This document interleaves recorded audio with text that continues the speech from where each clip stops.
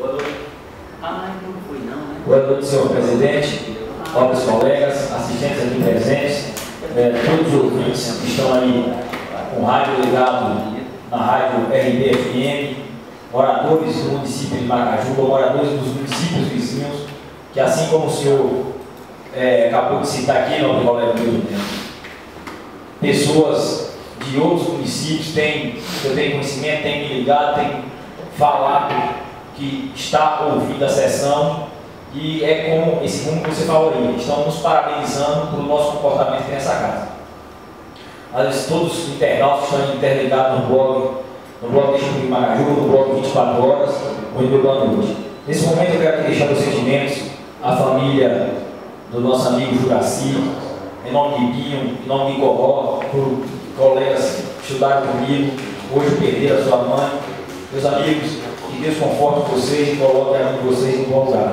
Queria também aproveitar aqui o um momento para parabenizar a todos os agentes comunitários de saúde de Macajuba, que a maioria dos agentes de Macajuba, os agentes de Macajuba fazem um trabalho excelente, assim como os agentes têm uma, parte, uma participação muito importante na área da saúde do nosso país, onde estão aí lutando por seus direitos, lutando para assegurar os seus direitos que alguns políticos querem tirar, mas eu tenho certeza que, dependendo do povo, vocês, agentes de saúde, vão ter os direitos que vocês garantiram, vão ter a classe de vocês mantida. E nesse momento eu queria aqui pegar a sua fala, eu já estava aqui na pauta, viu, a questão segurança pública. É como o senhor falou que a prefeitura tem dado seu incentivo, a prefeitura tem dado apoio, todos nós sabemos que a prefeitura tem dado apoio à polícia militar quanto à polícia civil, mas não está sendo suficiente. E deixo eu aqui mais um é, lembrete e venho até ver dos colegas que já tramitou um, uma indicação nessa casa para a guarda municipal do nosso município. Nós sabemos que quando o número de polícia para dar ronda no município de Macajuba é muito pouco.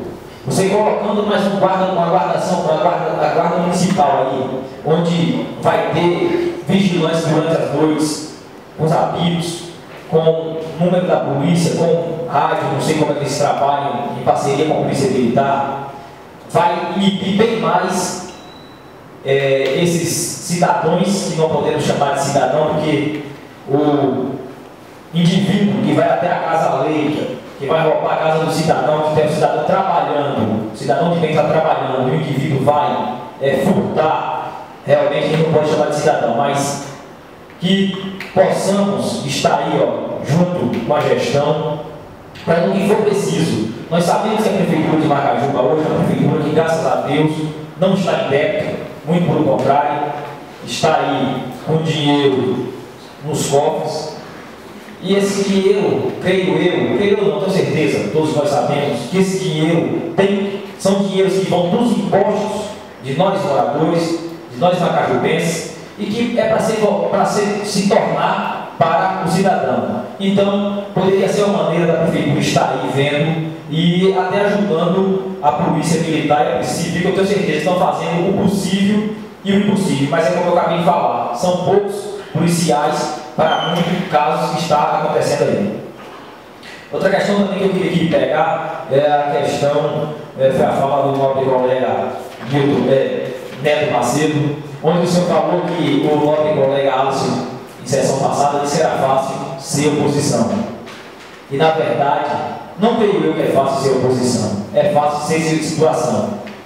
Porque a gente está aqui sempre sendo cobrado e nosso respaldo é muito pouco diante de alguns vereadores que a gente vê sendo situação. Respaldo da gestão, apoio da gestão, coisa que a gente, vereador de, situação de oposição, não temos. Então, é fácil ser situação, não oposição. Todo o senhor. Em questão em base eu, o senhor presidente já é, falou aqui que vamos reunir. Eu peço só que, enquanto assim, os senhores, os senhores marcarem a visita até o gerente da Embasa, que minha, minha avise com antecedência para eu poder organizar e poder ir com todos os senhores. Nobres colegas, É, o senhor, nosso colega Neto, veio aqui, parabenizou a gestão, muito plausível da sua parte, mas infelizmente eu hoje não posso vir parabenizar a gestão. Onde eu vejo uma gestão que cobra a taxa de iluminação pública no nosso município, e você anda nas ruas de Macajuba, você vai no distrito de Nova Cruz e vê ruas praticamente no escuro. Você vê algumas luzes que estão botando nos postes, eu não sei que luz, que lâmpadas, perdão, lâmpadas estão botando nos postes, não sei que lâmpadas são aquelas, porque são lâmpadas que não alumeiam nem o pé do poste. Veja lá 10 metros ao seu redor. Então, é como eu acabei de falar, o dinheiro arrecadado de impostos, vamos devolver para o cidadão, vamos botar pelo menos na qualidade de vida melhor cidadão. Na cidade como está, a violência como está Macajuba, nada melhor que a gente tentar se empenhar aí, tentar iluminar as ruas de Macajuba e dos distritos. Falando em iluminação aqui, eu vou falar, vou, estou na área da energia, é lamentável a gente chegar no, nos boxes de Nova Cruz e ver aqueles boxes com os relógios padrões, os relógios contadores do jeito que estão. Me enviaram fotos, tive lá presente, vi. Você vê box com gatos, fios descascados, expostos. Se uma criança pular e tocar, torres, é, há riscos de tomar um choque.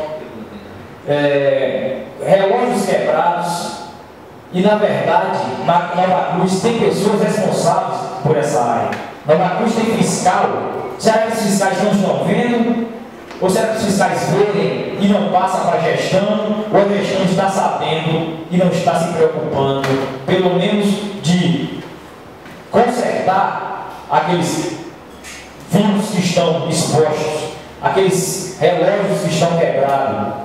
Porque ali está correndo sério risco de vida do cidadão, às vezes despercebido, de uma criança me brincando e pegar no fio daquele ali e tomar um choque e levar alto. Eu tenho certeza que essa semana, eu, o, o blog Deixa Comigo Macaju, que é um blog que está atento, vai prestar atenção nisso, vai fazer uma matéria para mostrar para todos os macajubenses, todos vocês que estão me ouvindo, porque eu não estou falando mentira, que está lá exposto para qualquer um.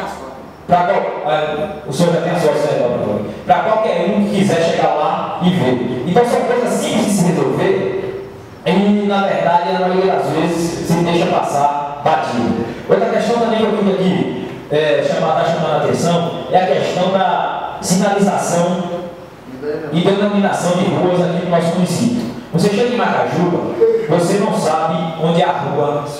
Se você conhecer o cidadão, tudo bem, mas eu vejo aí, ó, essas pessoas que vêm fazer entrega em matéria de construção, que vêm, às vezes, vêm trazer, fazer alguma mudança, se bate demais, porque dá loteamento João Borges 1, loteamento João Borges 2, não tem número de casa, não tem nome de rua, é uma coisa simples, já basta a gestão querer, traz um projeto de lei para a Câmara, onde a maioria dos vereadores, tenho certeza, todos os vereadores estão de acordo e denomina as ruas.